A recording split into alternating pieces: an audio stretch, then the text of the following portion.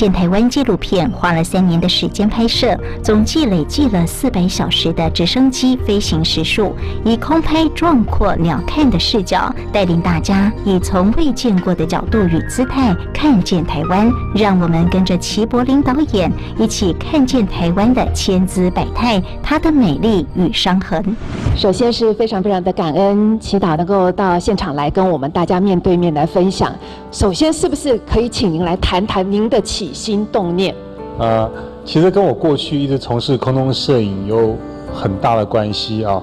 呃，我过去在从事空中摄影的过程中，其实有一句话可以这么形容，就是很多人都说他是当了爸爸之后才学做爸爸的啊。那我是从飞上天际之后，才开始认识我们自己的土地，认识我们自己的家园。啊，这个过程其实是这样子的。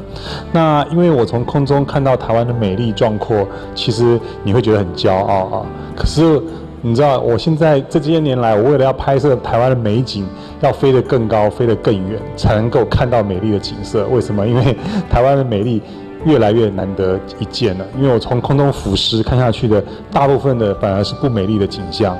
所以，呃，在美丽的背后，有的时候甚至是伤痕累累。这些伤痕来自于什么地方？除了天然灾害之外，很多是来自于我们人所造成的一些环境的破坏。啊，但是呢，我透过很多方式去演讲、出书，然后去告诉大家，台湾需要被爱，台湾需要被呵护。可是呢，大部分的人都 对台湾的环境是很陌生、很冷漠的啊。那我当然会先检讨，是不是我自己啊讲话的口条不好，或者是我拍的照片没有办法吸引人。那当我每次受到这样的呃，就是自己觉得有点挫折的时候，我就想要换一种方式，是不是可以吸引大家来关心我们的土地？因此呢，我就想要用拍一个纪录片的方式，拍一个电影的方式来呈现。我就用影片的方式直接的呈现出来，这是我一开始的想法。我是看见台湾空拍纪录片的导演齐柏林。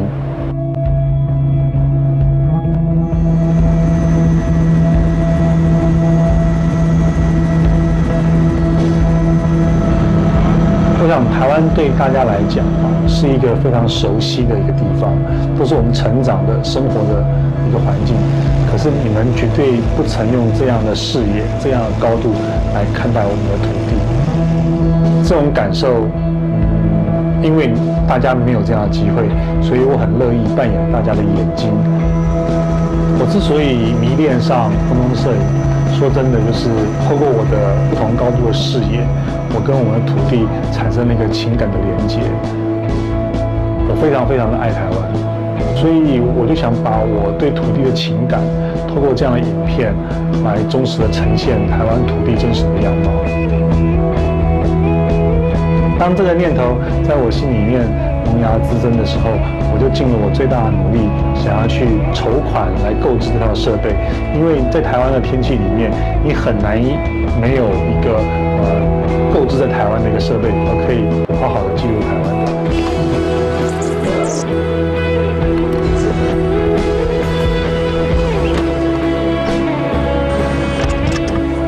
到阳明山去空拍。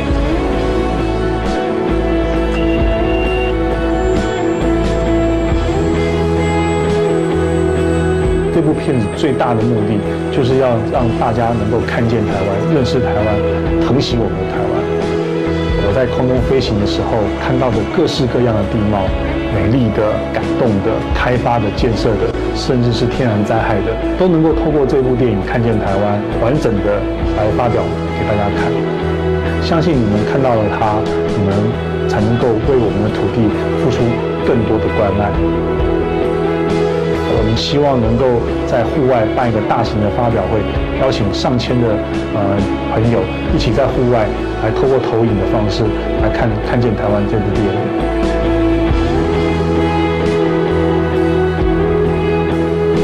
我很希望透过呃群众参与的方式，让大家能够共同的来看见台湾。原来过去我们的高度不够，所以。我们没看到这样子的一个台湾。但是呢，我慢慢慢慢的，我了解到了，您要让我们看到的是什么？Beyond Beauty 是在美丽的背后，这才是你要告诉我们的故事。有温暖的人情，有在这个土地上面人的一个奋斗血汗。可是呢，还看到了，也因为要积极的追求经济的发展，我们付出的代价。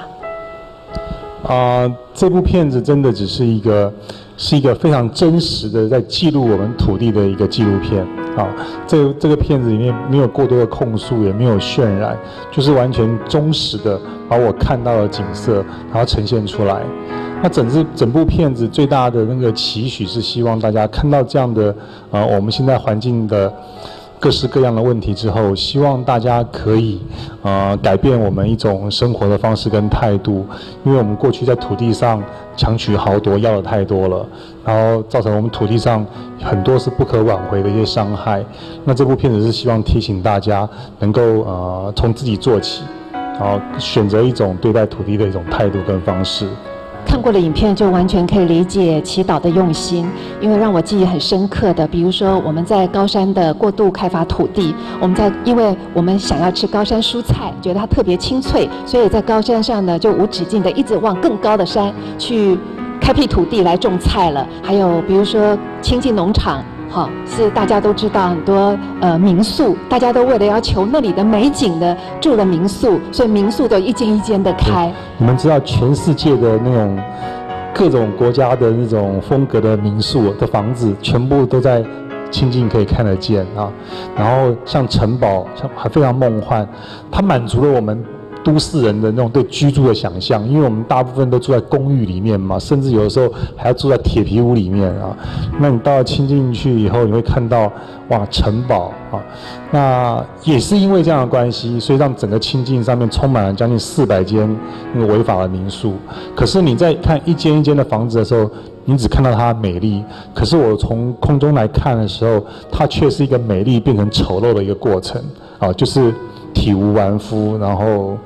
然后残破不堪啊！你们知道，就是我常常在新闻上面看到很多呃国外的游客，现在大陆的游客都要想办法都要上阿里山啊，因为高山青那首歌告诉他们说阿里山有的姑娘美如水啊。可是阿里山那条公路呢，真的是柔肠寸断，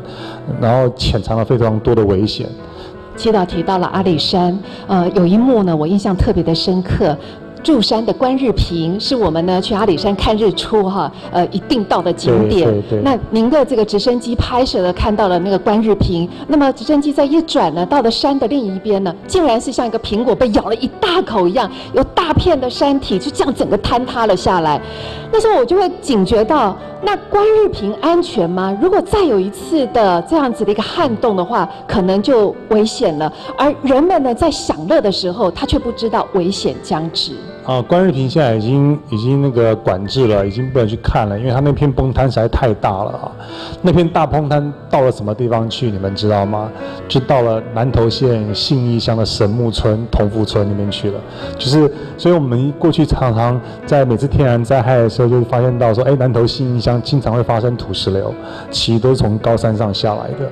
您的镜头真的是最强而有力的一种控诉，因为我看到那一幕的时候呢，我想起了正言上人他经常讲的，就是三界如火宅啊，就是说这个整个的人世间呢，就像是一个已经火烧了大房子了，可在房子的一角呢，还在玩耍的人们呢，可能都不知道另外一边已经起火了，不知道危险将至了。我觉得台湾的山里面是不能住人的啊，不能有一些开发的现象，因为台湾山林太脆弱了。我在两千零九年的莫拉克台风过后，第一个可以允许飞行的天气，都还在下着雨，我就飞进去了。我进到里面去的时候，我看到的景象啊，其实就是像世界末日的感觉。呃，从九二一地震之后，每一次发生的天然灾害，我都没有错过，我都去记录它。可是跟莫拉克的这这次的灾灾害来比较，过去的。啊，不管是敏都力台风，或是啊桃之台风、艾利台风所发生的局部的土石崩塌，那真的是微不足道。莫拉克台风所造成的伤害是大片大片的，是你没办法想象的。我从呃阿里山飞到高雄，飞到台东，其实那残破的景象，你会觉得那是一个毁天灭地的一个天然灾害。您刚刚是用毁天灭地来形容莫拉克风灾之后，您飞到了小林村上空看到的一个景象，是什么原因让您促成的一定要完成这部纪录片？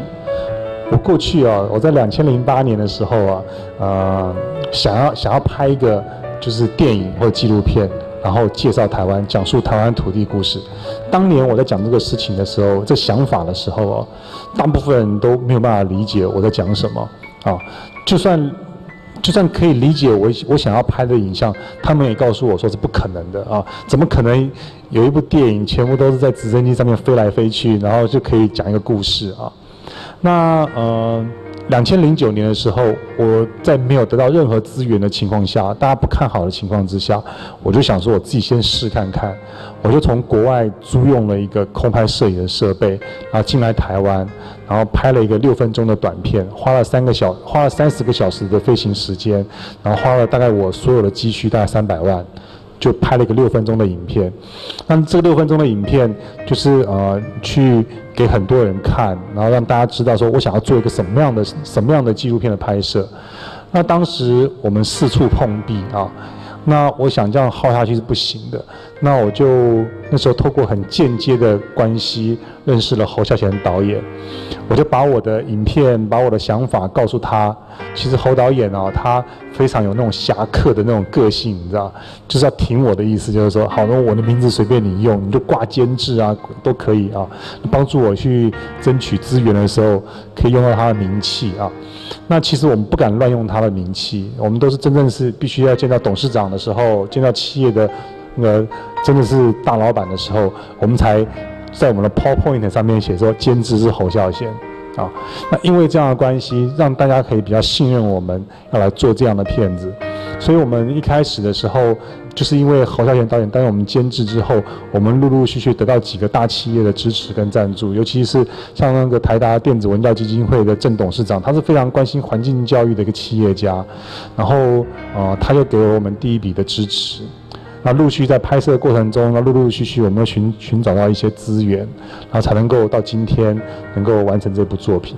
其实呢，我们慈济人常常要回去花莲的时候呢，我们都会坐这个火车。那呃，一边是太平洋，一边是中央山脉。我们看到中央山脉有些地方也坍塌的非常的严重啊。结果您的镜头带我们看到了是为什么原因呢？啊，我们刚刚讲到了土石流啊、崩塌啊，都在西半部嘛，对不对？那大家觉得你到了花莲、到台东，总是好山好水，应该就漂亮了嘛，对不对？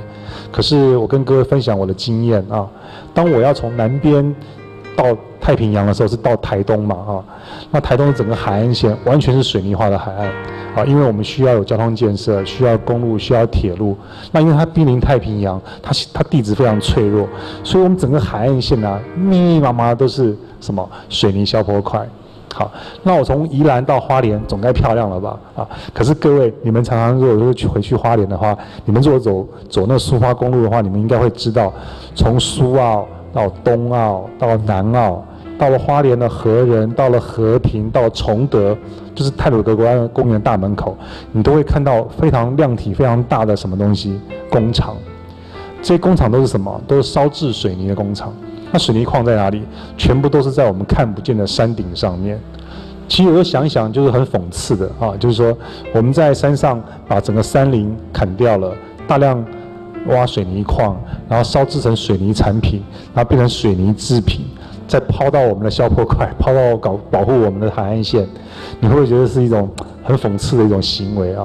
不过，切导，你跟我们分享了这么多这些残破的景象背后，其实绝大部分都是因为人为的。当你透过的镜头看到的时候，你是心疼呢，还是气愤呢，或者是有什么样的情绪呢？都有哎，就是我看到那种美丽的那种。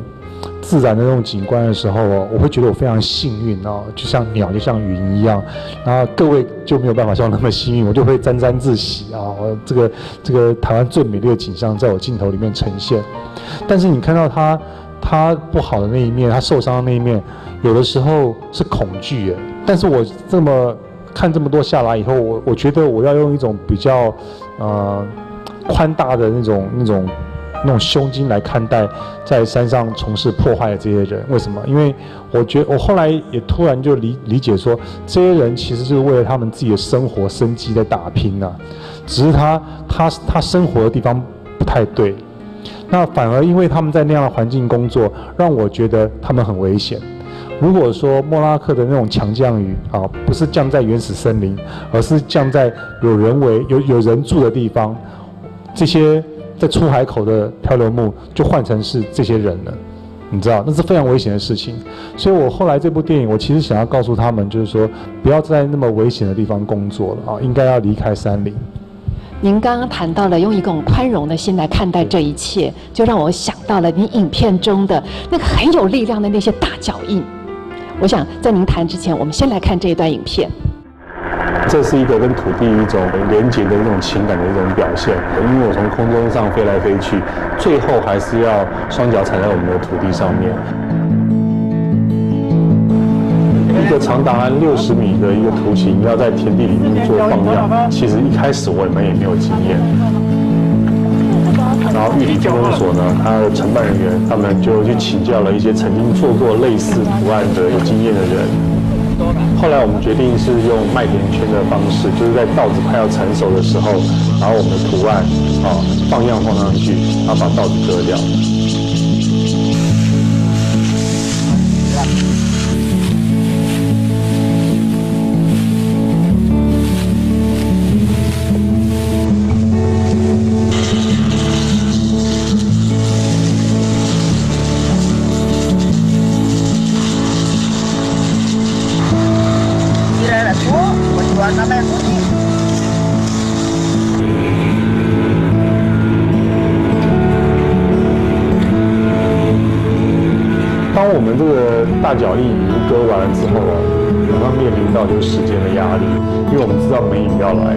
然后呢就想赶快用趁着好天气赶快拍起来。而且我们出发的那一天呢，蓝天白云，天气非常非常好。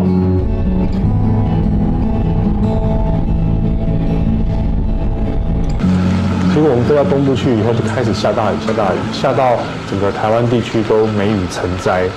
啊，那是心情是非常非常沮丧的，因为我们碰到下雨，镜头会沾到雨水的时候就没有办法拍摄的，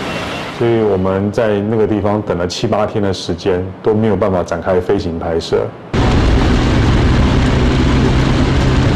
那我们想要问一下，现在这个雨啊，大概什么时候会停，或者是今天有没有机会停这样子？以雨比较，只要如果不要下雨的话，今天有没有机会，还是明天有没有机会？机会不大，就雨会一直下。是，在那段漫长等待的期间呢，每天晚上睡觉前就是祈祷隔天会有好天气。可是呢，一个晚上都睡不好，因为夜里面听到都是滴滴答答的落雨声，然后早上起来依然如此，整个心情荡到谷底。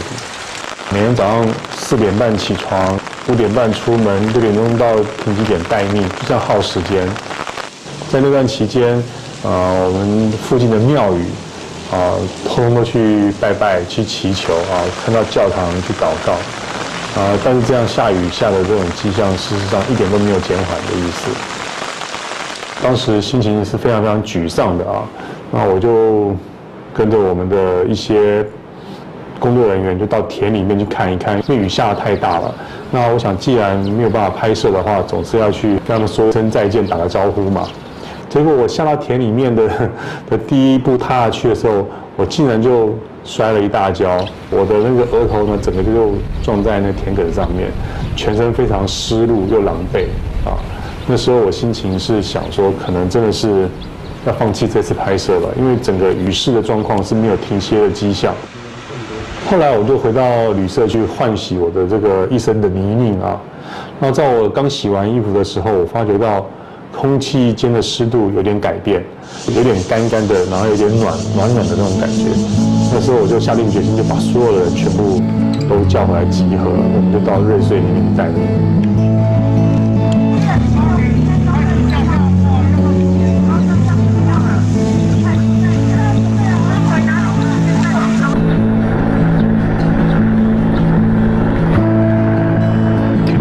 大脚印在电影的画面里面呈现的时候，仅是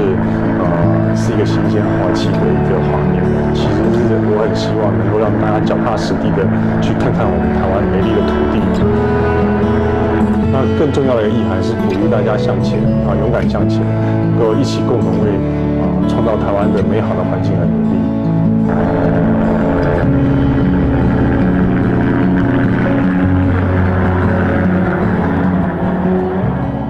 不过我们同样的是影像工作者，刚刚看到您为了等天晴七八天那种煎熬，我也一样的感同身受。是，那个这个大脚印啊，大概简单跟各位说明一下，这片稻田呢是在花莲的玉里镇的春日里。那大家过去应该都大概从很多地方都都可以看到台湾美丽的稻田，比如说台南的后壁也很漂亮。但是就空中来看呢，我自己。最喜欢的一片稻田是在，啊，刚刚我讲的玉里镇的春日里，好，那边有很完整的聚落，然后又有一个没有道路、没有电线杆，从视觉上面来看是一个非常漂亮的一个地方。但是你们知道，我们机场飞机的机场的基地是在台中清泉岗，可是你拍摄的地方在花莲的玉里，它的直线距离是最近的，可是它飞行距离是最远的。因为我们飞机不能直接翻越过中央山脉啊，我们必须要到啊屏东、台东绕到花莲，要不然就是要从啊台北、宜兰啊绕到花莲。那当时我提出这个想法的时候呢，全部的人都反对，就是因为它飞行成本很高啊。但是当我把我过去在空拍照片，把这个地方的地景拿出来给大家看的时候，每个人都举双手赞成，说我去那个地方拍这个场景。那只是说，呃，当时运气有点点不太好啊，碰到梅雨，那个梅雨啊，下到真的是人心惶惶。我们早上啊，就是出来等天气，等到中午吃个便当，然后继续等，等到那个不能飞了又回去，像连续七八天。后来就是真的很幸运，让我们等到一个两个小时的天气，那两个小时。就是它虽然没有阳光，但是不下雨了，不下雨我们就可以飞，就可以拍。然后就是你们现在看到的那个大脚印，是九个大脚印，一个脚印六十公六十公尺，然后一共有三十几位地主农民来共同合作。你知道拍完以后，他们看到画面呈现的时候，他们农民哦很可爱的就跟我很计较，他说为什么我的田里面只有放一个大拇指？为什么我田里面只有放一个脚后跟？那其实我当初。当初我设计这图案的时候，我是透过卫星影像，然后把它标出来，然后想透过镜头的设计，然后画出来的。所以我并不知道，呃，谁的帖里面啊放了什么样的地，放脚趾头啊，还是脚后跟啊？对。不过您应该等了七八天了，不知这个雨要下于一于湖底啊，那个心情除了煎熬，其实还肩负着经济上面的一个沉重压力，所以真的是非常的感恩祈祷，谢谢您，谢谢谢谢谢谢大家。其实看见台湾最主要的那个目的是希望大家因为看见了，然后认识我们自己的家园，看见台湾，认识台湾，了解台湾，最后请大家跟我们跟着这部电影一起来爱护台湾，感恩。